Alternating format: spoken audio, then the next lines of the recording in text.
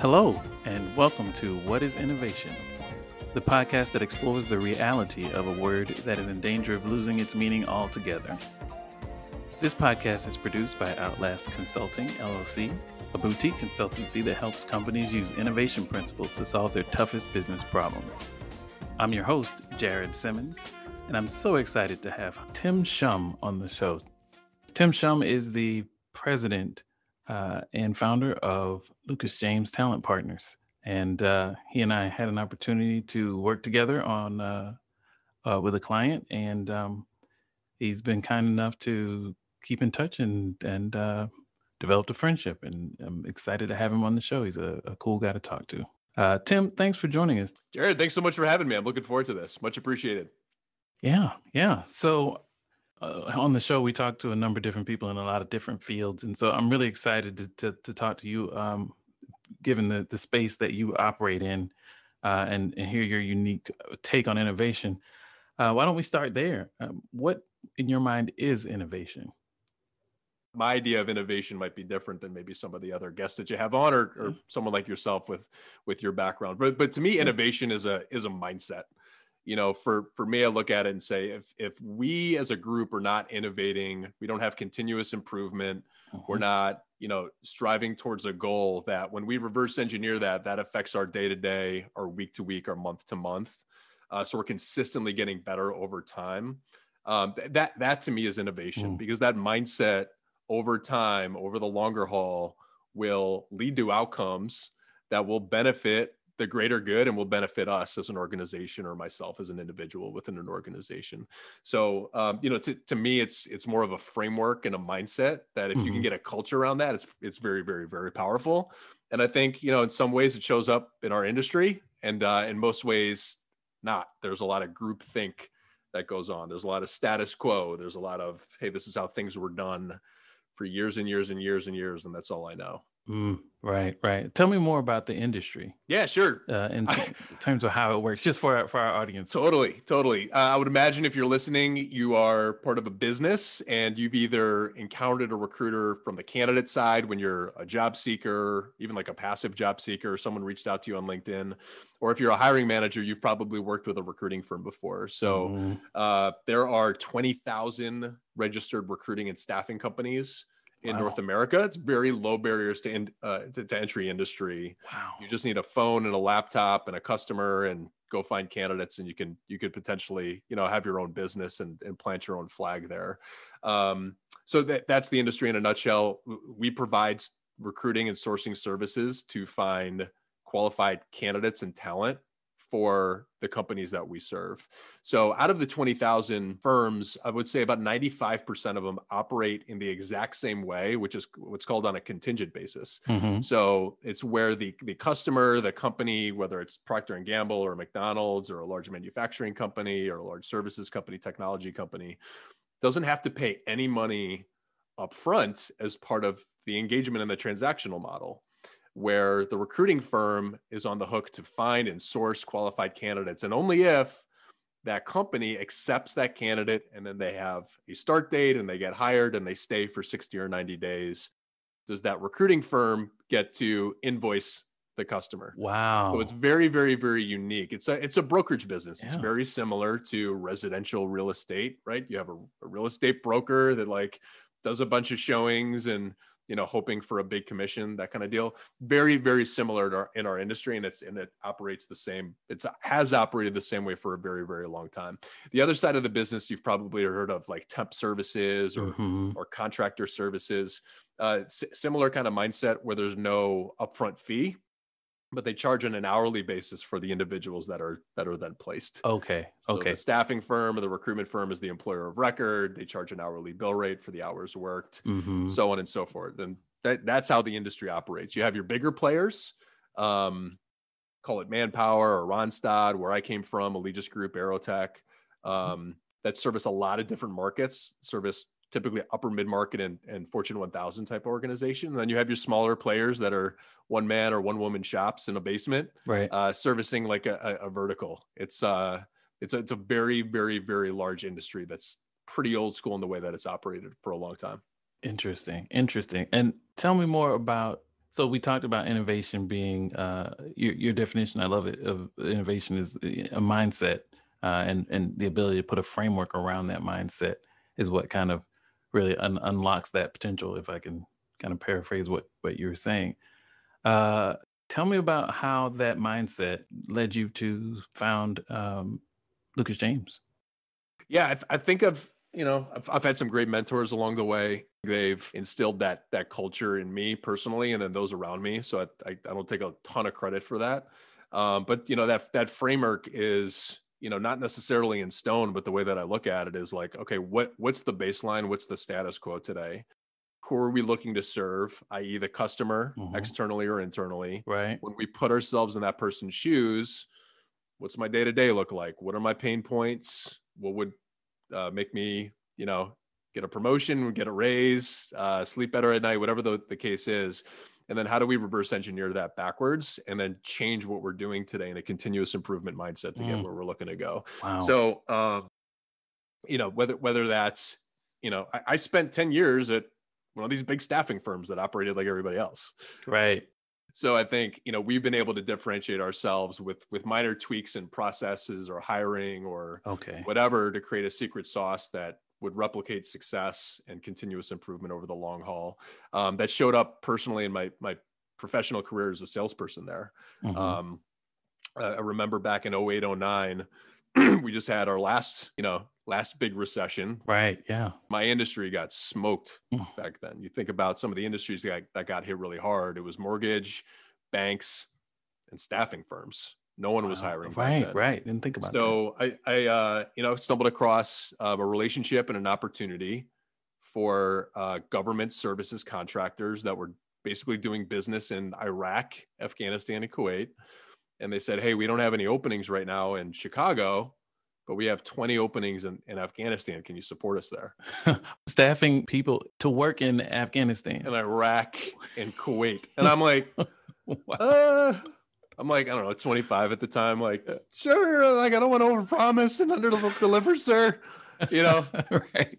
Putting my hair away. So, you know, what we did was essentially we went back to corporate that this multi-billion dollar company presented a business case like hey listen there's an opportunity here when there's not opportunities elsewhere but we have to like look outside of what we're currently doing right in order to make it work right, right? we got to make sure employees get there safe. We got to make sure we have the right insurance requirements. We have to like change our process and we need to look like outside of that. So if you're okay with me going after this we'll make sure that we're good from a risk risk standpoint for everybody that's involved but i need a little bit of autonomy to like make this thing work. So we're serving the customer uh, in this case, which was a much different customer supporting a hiring manager in Kuwait or Af- Afghanistan than, you know, the the manufacturing plant down the street in Chicagoland area, right? Right. So right. that that was just a really fun experience over let's call it a, a three four year period where we were able to build a business within a business with complete autonomy to set up the team how we wanted to to take the customer and say what's the goal here? And reverse engineer that backwards and say what resources do we have today? Because we are part of an organization that's mm-hmm. done well with the standard staffing model. And then how do we apply what the customer needs um, and what we can do to that? And it it, it was entrepreneurship. It built a business that was very very large uh, with a lot of people involved. I don't take all, all, the credit for this, but it built up a really, really large business within an already large business, right? And became a significant percentage of revenue at a time where there wasn't a lot of people hiring. So that was that was a very like when you talk about innovation, that stuck with me because like mm. I, I think as a as an innovator, as an entrepreneur, is you know if you're looking to really make your name for yourself up the corporate ladder, regardless of the industry, you know you need some experiences in your life that give you the confidence that when you step outside the box and you take a chance on something researched of course right. that it pans out well. And sometimes you're going to make mistakes along the way but if you have that autonomy you have confidence and you have the support ultimately getting some success there you know to me it's like you can kind of innovate anything. Right. Yeah. Yeah. Anything can be optimized that's right. as a result of that experience. So um, you you it started the question what are you doing today to kind of disrupt this industry. Yeah. So at Lucas James Talent Partners, I started the business two and a half years ago. uh, we're we're basically an alternative to the 95% of the staffing companies and recruiting firms that are out there. Mm-hmm. So uh, I have a team of uh, senior, mid-level, and junior recruiters and what we call candidate sourcing specialists. Mm-hmm. Um, we we are tech enabled, so we have world-class technology in our technology stack, and then we allow our customers to tap into re- our resources not on a not on a fee basis 20 25% really really large high expensive fees Right. but on, a, on an hourly basis to uh, give bandwidth Okay. to an internal talent acquisition department Got it. so the problem is the, the reason there's an industry in the first place is these companies cannot perform the recruiting depart uh, function themselves all the time right. So Right. when they have you know busy periods or cyclicality or seasonality or attrition happens or there's a new project and they have staffing needs that outweigh their internal ability and bandwidth to you know fill those needs with, with Mhm. great people, they have to go outside of the industry. So the, the the best way to do it is internally, and we give these organizations a very on-demand, flexible option to get dedicated senior seasoned resources with technology behind them uh, to add to their internal teams. So uh, this this route is much more cost effective. We end up being 40 to 60 percent more cost effective on a cost per hire basis, and I can get into that. Mhm. Um, it's flexible. So, you know, we are a partner where we can flex up and down based on hiring demand throughout the year because often Right. companies, regardless of size, are busy in Q1 because budgets just hit Right. maybe slower in Q2, Q3 with a, a project, and we we allow the flexibility to scale us up and scale us down as your hiring demand in- increases. So that's that's great for the CFO Right. to hear, Yeah. especially during a pandemic environment. So tough to execute. I think like we have a road ahead of us to innovate and really dial in this model. Mhm. Um, but we also have a blank slate, and there's not a, a- an organization like us that's large and well known within our industry, and it's it's our goal to become that. But we have a long road ahead of us in order to do that. Yeah, no, I mean, I can imagine it's going to be. Uh, well, I know the model, and I've had an opportunity to to to work with you and your team, and and I I see and understand the benefits firsthand of kind of this innovative uh, approach, and the fact that uh, it, it's not. It feels more like um, calling someone up, and this is not an, an, an analog from uh, from a uh, talent standpoint, but it's almost like calling someone up from AAA to play with the big ball club for a couple weeks while somebody's injured. Sure, You know, absolutely. um, and I, I- that's the way I look at it. Is okay, we've got this mountain of work, and we don't have enough people to do it. Let's bring these experts in who already know our, who we've worked with before, who already know our systems, and they are deep, deep subject matter experts in the area that we need help, and that allows you to free up your utility players to continue with the this baseball analogy, but to free up your utility players to do other things within the company knowing that you've got deep subject matter experts ready to go at a moment's notice. And that's what it did for for uh, for my clients uh allowed them to take those scarce internal resources and redirect them somewhere else knowing that experts uh were were kind of on the case um to to take care of that Yeah, you're right. You're absolutely right. And I think you know when we when we jam, when we chat, we geek out on on business stuff, right? yeah Any brokerage business is an inefficient business model. Hmm. It just is. We're Yeah. like, you know, you have to basically like pay the middleman on an outcome right. Meaning like the the the middleman is not getting any services up front they're not getting any invoices. They're not getting any money or monetization up front right. Only when they execute a services. So when you look at i mentioned a few. Staffing and recruiting is one. Residential real estate commercial real estate's another. Insurance Mm, mhm. operates the same way where you have these agents that are basically operating in a model that just like is what it is. It's been like this for decades right. where you know i have to go find customers and then i, I have to tell my customer hey um, i'm going to go do like six weeks of work for you for free and i'm going to try to do my best and i'm going to cross my fingers that i can monetize this um, or find the house that you're looking for or i'm up against four other insurance Yeah. brokerages bidding on this business and like Yeah. six eight ten 12 weeks worth of work that i that I win it at the end of the day. And what happens is if you're on the vendor side, which I was, there's a lot of inefficiencies there. Mm-hmm. So I, mm-hmm. you know, my, my last role at this large recruiting company, I was managing, I don't know, 60, 70 recruiters. And if I was being really, really honest with myself, I would say 60, 70% of mm. my recruiters' time went unmonetized. Wow. And the firm I was part of did a damn good job too. Like we were one of the best. Yeah, sixty to seventy percent is is best in is probably best in class, is what you're saying. Here's what happens in our industry. Wow. It's like Jared needs a, a salesperson for Outlast Consulting. Mm-hmm. Okay, great. Um, I'm gonna go work on that for six weeks, and then six weeks come by. I, I present you four great great candidates.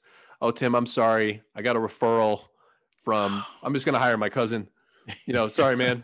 and I'm like, ugh yeah. There's a big fee there, right? Right. So a lot of other things happen. You're wow. the, the customers incentivized to call like four recruiting companies at the same time, mm-hmm. have them duke it mm-hmm. out, all this kind of stuff, or like, hey, it's there's no skin in the game, so let's see what they come up with. All this kind of stuff happens. Yeah. It's really, really frustrating. It's really frustrating to manage recruiters that are going through this because they get unmotivated and there's high right. turnover in the industry as a result of this.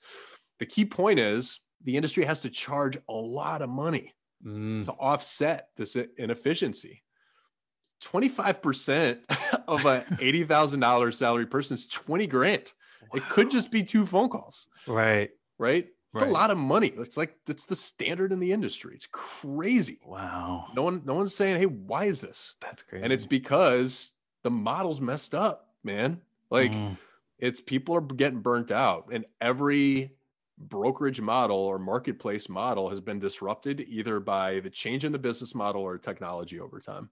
Wow. Hey, I wish I had a bigger technical bone in my body to create like an AI, you know, marketplace for right. connecting businesses and candidates. I think people are on it.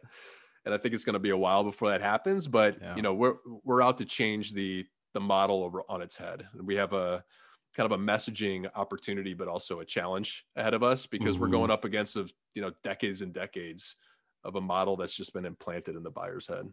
Yeah. Yeah. No, I, what I what strikes me about this and the way you talk about it and the way you frame it uh, is is the role of empathy. Uh, I can hear it in your voice. The you know kind of and the way you described it, kind of starting at the you know in that internal resources life, what they think, how they're rewarded, what they're trying to, what problem they're trying to solve, and kind of working back.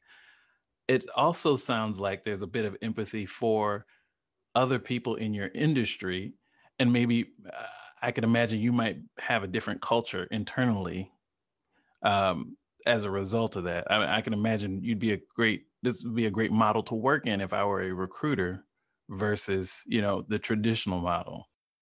From from a our, our team standpoint, mm-hmm. absolutely. Yeah. They're they're yeah. working on stuff where so because the client's paying hourly, and it's trust me, it's tougher on the sales end mm-hmm. to to to engage right there's got to be a lot of trust there case studies yep. all that kind of stuff they got to trust that it works um, but when, when we get in there and we do a great job you know they're incentivized to only give us positions that they want us working on right and like you know that our time is optimized so the recruiter is only working on stuff that moves they're making an impact mm-hmm. people are getting mm-hmm. hired they're high-fiving their candidates they're high-fiving each other and I think that's you know tur- just turning the model up on its head. Yeah, made a world of difference. And for me, frankly, you know, managing the old model, you had to hire them cheap and out of college. You know, you had to teach them professionalism in the industry, right? And you had to like keep them motivated in, in other ways because there was a lot of stuff that that was outside of their control. Right. Yeah. Yeah. You know, so like it was tiring. You had to work 60, 70, 80 hours a week just to, you know, differentiate yourself in that industry. That, that was our thing, outwork the competition. Right, right. Because it's about at bats. That's because right. you can't really necessarily control the outcomes in the same way. That's right. Mm. You're absolutely right. Mm. So yeah, I'd like to think that. But like listen, like we, we talk about like innovation for real mm. in this mm-hmm. industry. Um, in my lifetime, um, there there's gonna be technology that does all this stuff, or at least most of it. Right. Okay. Like there's yeah. still a human element, you know, of if I'm going to start working at a company, I want to make sure I feel comfortable from like a trust standpoint. You can't right. do that with a computer. That's right. But like the sourcing, the some of the screening, stuff, Mhm. the scheduling, the you know automation of like reference checks, Right. and like think of all these these things like Yeah. that. That's the people that are really tackling that problem. I think they're going to be dealing with like a maybe a timing issue, Mhm. but it's it's bound to come in this industry, and I'm not naive to think that it's not.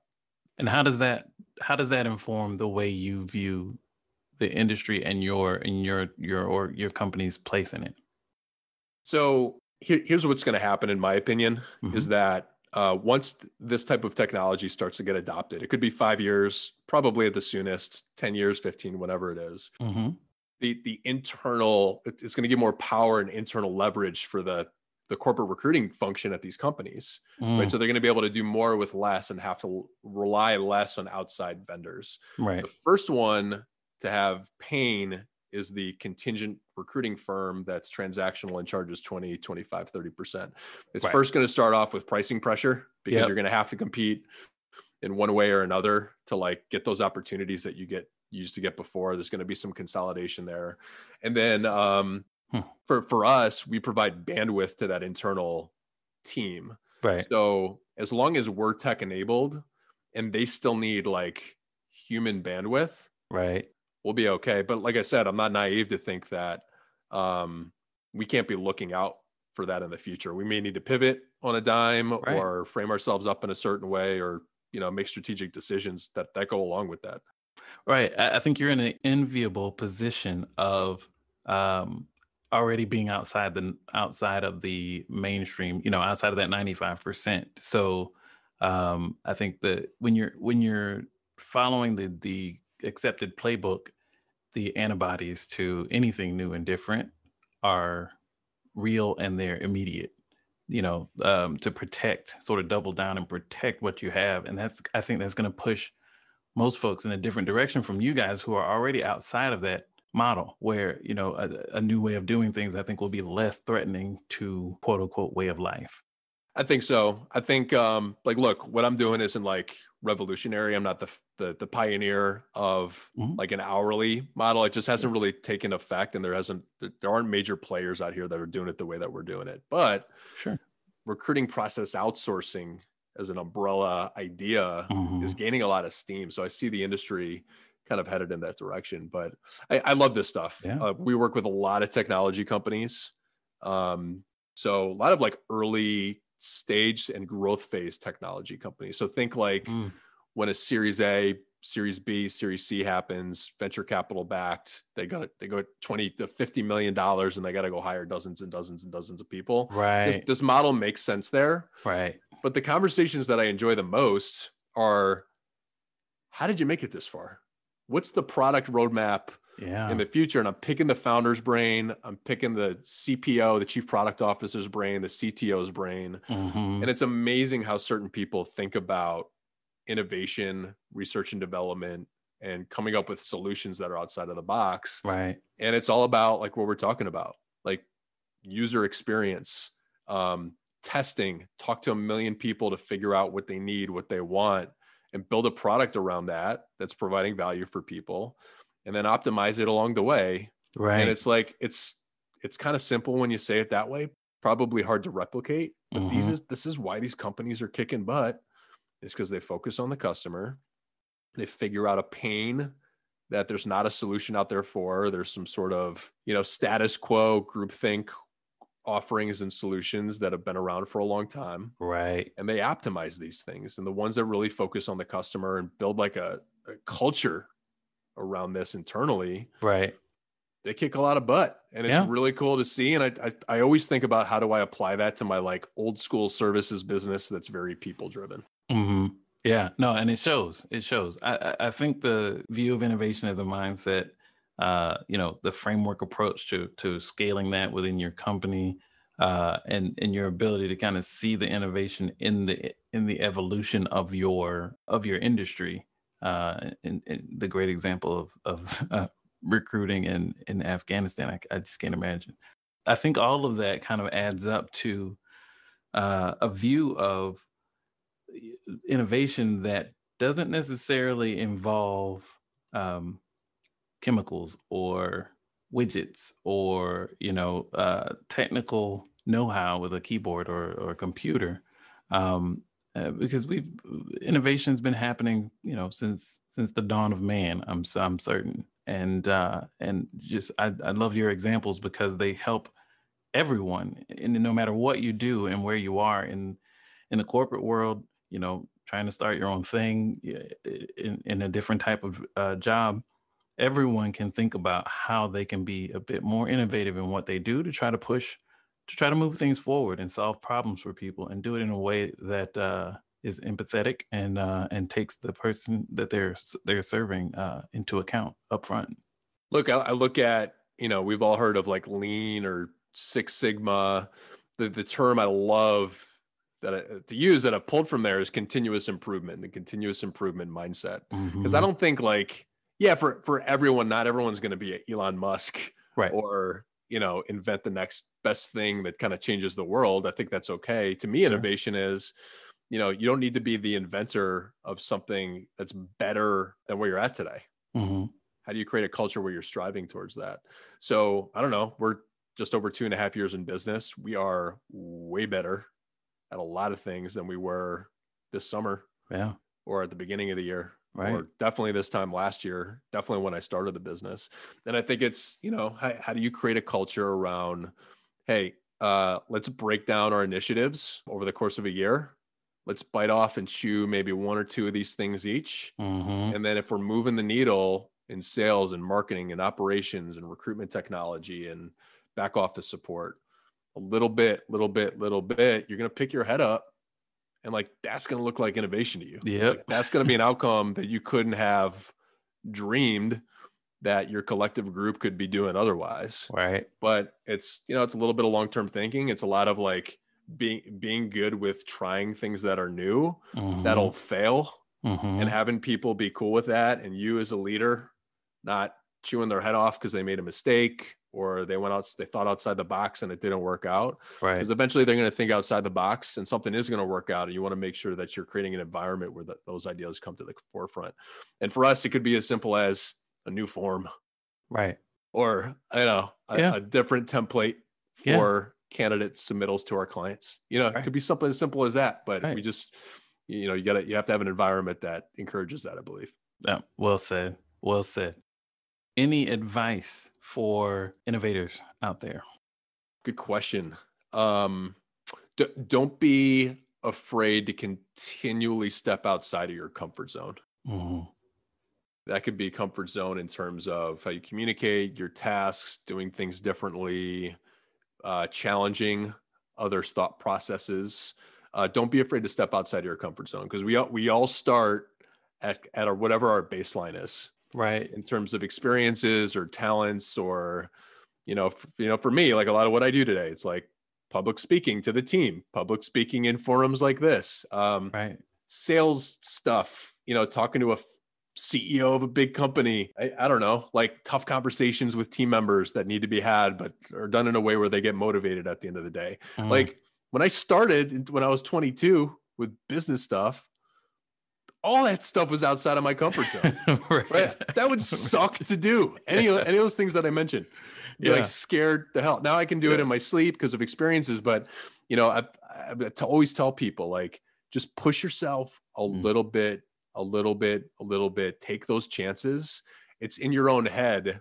You know, people don't care about Tim.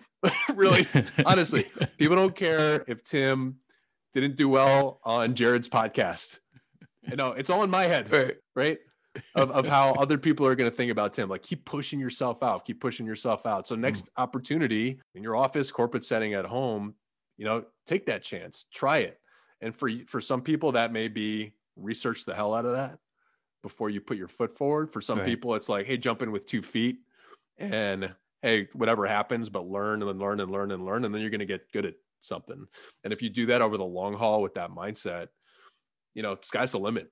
I think. Yeah. So um, I always try to tell that to to people on my team.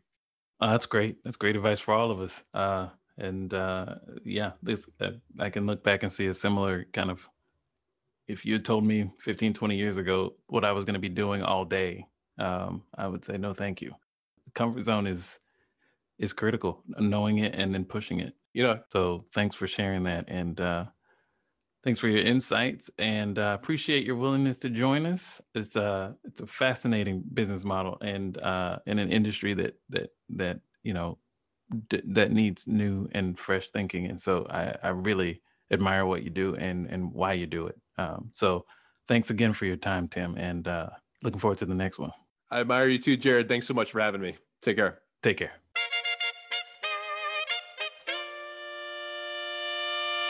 We'd love to hear your thoughts about this week's show. You can drop us a line on Twitter at Outlast LLC. That's O U T L A S T L L C. Or follow us on LinkedIn where we're Outlast Consulting.